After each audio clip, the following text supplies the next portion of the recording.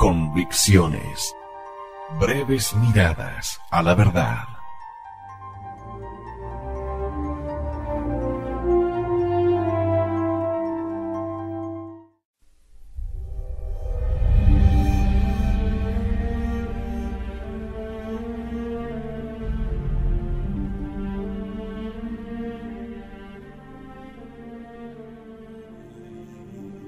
conformidad con la voluntad de Dios. En los bienes espirituales. Por último, aún en los grados de gracia y gloria que Dios nos dé, hemos de conformarnos con su voluntad santísima. Debemos estimar en su justo valor lo que se relaciona con la gloria del Señor, pero en mayor aprecio debemos tener su voluntad. Debemos ambicionar amarle más que los serafines, pero no debemos desear mayor grado de amor de que el Señor ha determinado concedernos. Dice muy bien el Padre Maestro Ávila. No creo que ha habido santo en este mundo que no desease ser mejor de lo que era, mas esto no les quitaba la paz, porque no lo deseaban ellos por su propia codicia, y que nunca dicen harto hay, mas por Dios, con cuyo repartimiento estaban contentos, aunque menos les diera, teniendo por amor verdadero el contentarse con lo que Él está más que el desear tener mucho. El cual viene a decir, como explica el padre Rodríguez, que si bien hemos de ser diligentes y fervorosos en procurar nuestra perfección por cuantos medios podamos, a fin de que no se nos entre la tibieza y dejemos de hacer lo que es de nuestra parte socolor de decir, Dios me lo ha de dar todo ha de venir de la mano de Dios. Yo no puedo más.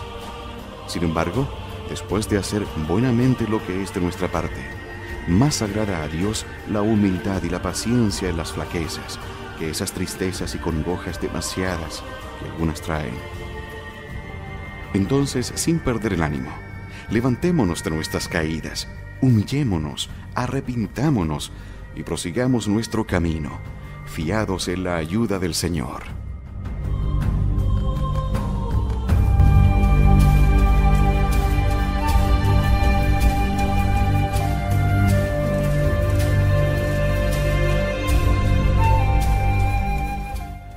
Y aunque también podamos desear estar en el cielo en el coro de los serafines, no para tener nosotros más gozo, sino para amar más a Dios y darle mayor gloria, debemos, esto no obstante, resignarnos a su santa voluntad, contentándonos con el grado de gloria y de amor que el Señor se digne por su misericordia otorgarnos. Defecto harto notable sería el desear ser por Dios regalado con los dones de oración sobrenatural, como éxtasis, visiones, revelaciones. Dicen los maestros de la vida espiritual que las almas favorecidas por Dios con este género de gracias deben pedirle que se las retire, a fin de poder amarle, guiados por la fe, que es el camino más seguro Muchas almas hay que han llegado a la perfección sin gozar de estas gracias sobrenaturales. Solo la virtud y sobre todo la conformidad con la voluntad de Dios es la que levanta a las almas al grado sublime de la santidad. Y si no es del agrado del Señor levantarnos a tan sublime perfección y gloria, resignémonos en todo a su divino querer, suplicándole al menos nos salve por su infinita misericordia. Obrando así, no será pequeña la recompensa que recibiremos de la generosa mano del Señor, el cual ama con especial predilección a las almas resignadas a su voluntad.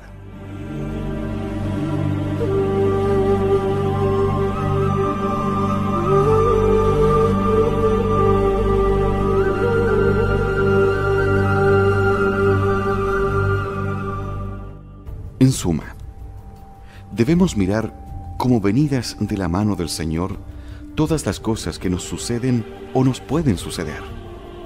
Todas nuestras acciones debemos enderezarlas al único fin de agradar a Dios y de cumplir su voluntad.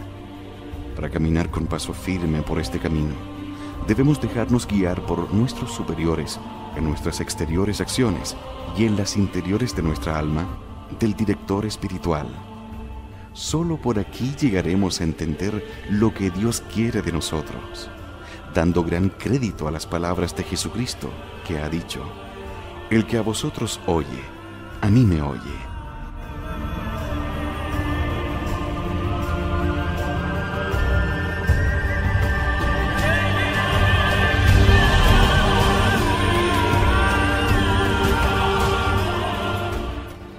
Esforcémonos sobre todo por servir a Dios del modo que Él quiere ser de nosotros servido.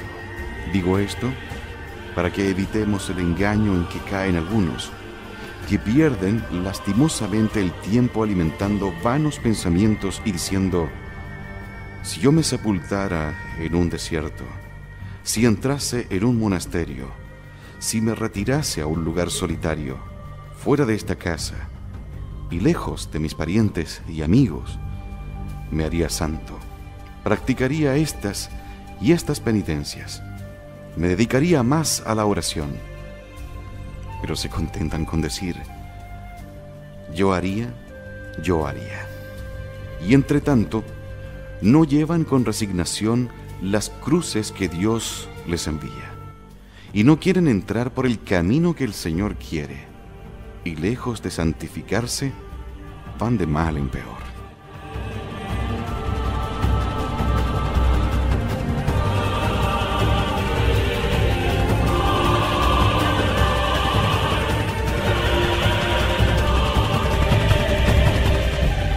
Estos deseos son a las veces tentaciones del demonio, que les tienta a no conformarse con la voluntad de Dios por lo cual menester es arrojarlos de nuestro espíritu y alentarnos a servir a Dios, siguiendo la senda que nos ha trazado. Cumpliendo su voluntad, a buen seguro que nos haremos santos en cualquier estado o condición que el Señor nos haya puesto.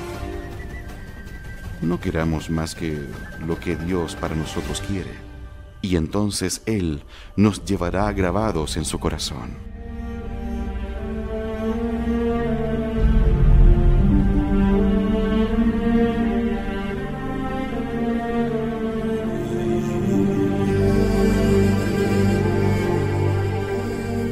Para conseguir esto, hagámonos familiares algunos textos de la Escritura que nos invitan a unirnos más y más con la voluntad del Señor. Digamos con San Pablo, Señor, ¿qué quieres que haga? Decidme lo que deseáis de mí, que pronto estoy a hacerlo. O con David, tuyo soy, sálvame, puesto ya que no soy mío, sino vuestro. Haced de mí, Dios mío, lo que os agrade.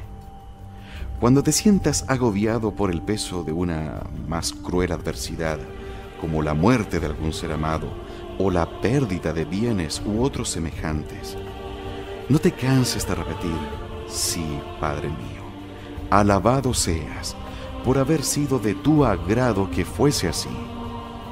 Pero entre todas las oraciones, la que con más frecuencia hemos de repetir es la que nos enseñó Jesucristo en el Padre nuestro. Hágase tu voluntad, así en la tierra como en el cielo. Dijo el Señor a Santa Catalina de Génova, que al rezar el Padre nuestro se detuviera particularmente en estas palabras, suplicándole a la vez que le otorgase la gracia de cumplir en la tierra su voluntad con tanta perfección como los bienaventurados en el cielo.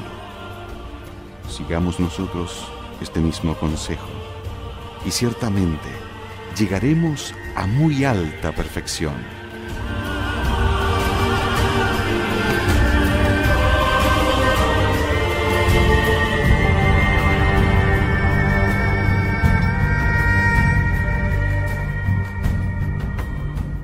Sea por siempre bendita y alabada la voluntad del Señor, así como también la Inmaculada y Bienaventurada Madre de Dios.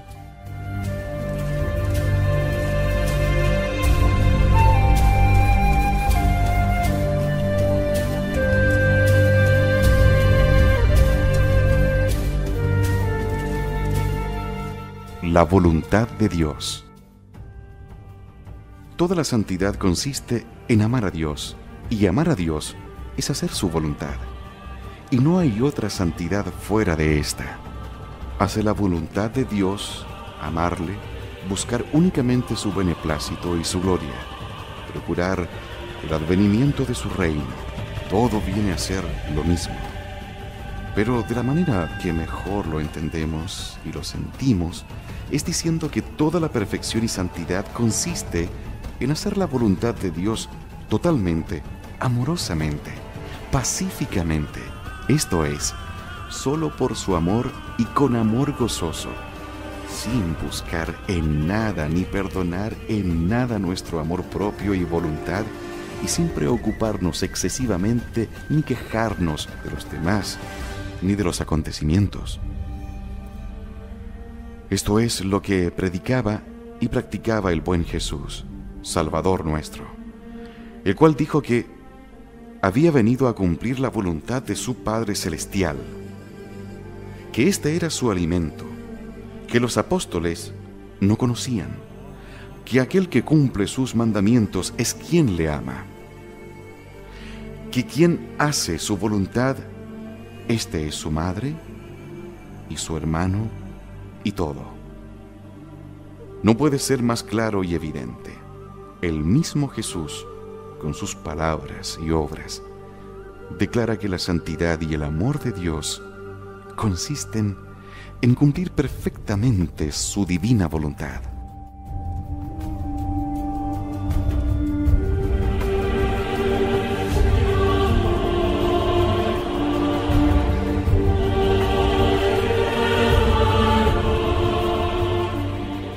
¿Cómo se nos manifiesta? Esa voluntad de Dios es siempre no solo muy clara, sino evidente, salvo rarísimas excepciones que no es menester explicar en estos momentos. Y la conocemos por tres medios. Por medio de nuestras obligaciones, ya sea las propias de todo cristiano, ya las propias de cada Estado Aquí entra el cumplimiento de los mandamientos, preceptos, votos, reglas, los actos de justicia y de caridad, la obediencia a los superiores. Hay que fijarse la debida al director espiritual, cosa que, tratándose de personas que aspiran a la perfección, es más importante de lo que muchos creen, sobre todo en materia de escrúpulos, dudas y peligros.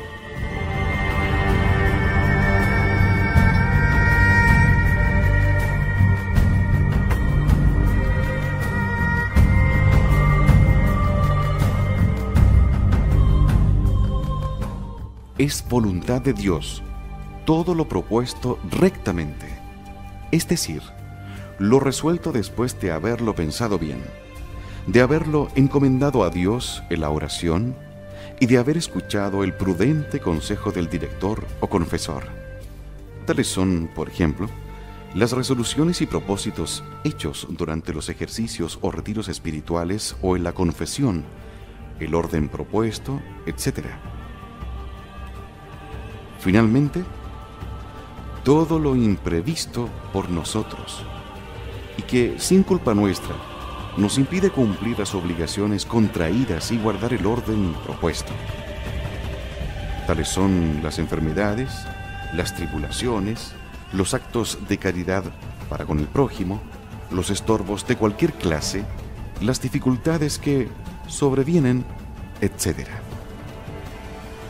Por lo tanto, pocas excepciones puede haber en la manifestación de la voluntad de Dios, siendo siempre tan clara y evidente, así en lo previsto y ordenado, como en lo imprevisto y extraordinario que Dios hace que nos salga al paso precisamente para que no hagamos lo que tenemos costumbre de hacer o hemos propuesto, sino lo que Él nos presenta como cosa repentina e ineludible.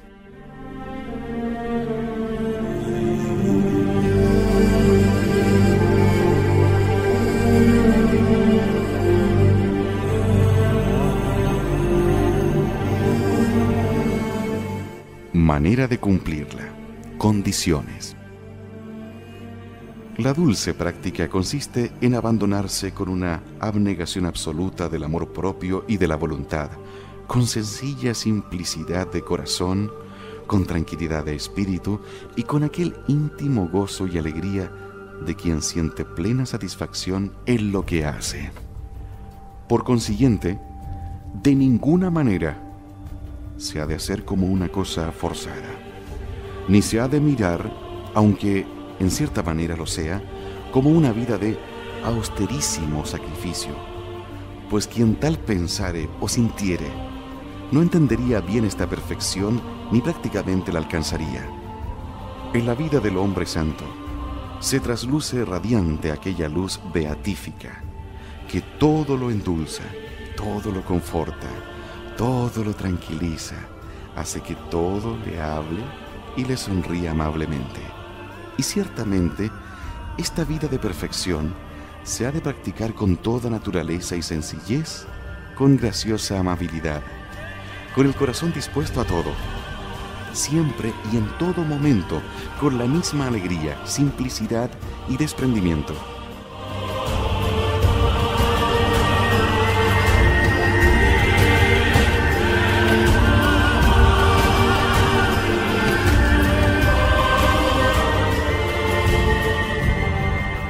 Por esto hemos dicho que se ha de cumplir la voluntad de Dios toda, amorosamente y pacíficamente, o sea, totalmente, con amor y absoluta paz espiritual. Y aclarando algo más estas cualidades diremos, totalmente, esto es, en todas las cosas y en todos los momentos, y por lo tanto, de una manera constante y absoluta es pues necesaria la abnegación más completa de nuestra voluntad y la mayor indiferencia posible acerca de los medios. Es pues necesaria la abnegación más completa de nuestra voluntad y la mayor indiferencia posible acerca de los medios y manera de cumplir la voluntad divina. Amorosamente, o sea, estimando de todo corazón esta práctica de la voluntad divina, bien enamorados del buen Jesús, Salvador, Redentor, Maestro, amigo y esposo nuestro, que nos enseñó el camino con sus palabras y ejemplos. Debemos hacerlo todo puramente por amor suyo, sin pensar en nosotros, con aquel íntimo gozo y satisfacción espiritual de contentarle y complacerle, cumpliendo gustosamente su voluntad. Pacíficamente ¿Qué quiere decir con aquella paz imperturbable propia de quien está seguro de que ningún mal podrá perderle ni dañarle, con aquella sencillez y simplicidad evangélicas que nos predicó Jesús al ponernos como modelo un niño, lo cual da aquella libertad de espíritu y naturalidad que solo poseen los cristianos, y mejor aún, los santos. Expliquemos y meditemos cada una de estas cualidades y condiciones. Aquel que las entendiere bien, aquel a quien Dios las diere a conocer y a sentir interiormente, habrá encontrado la piedra filosofal y la clave de esta materia.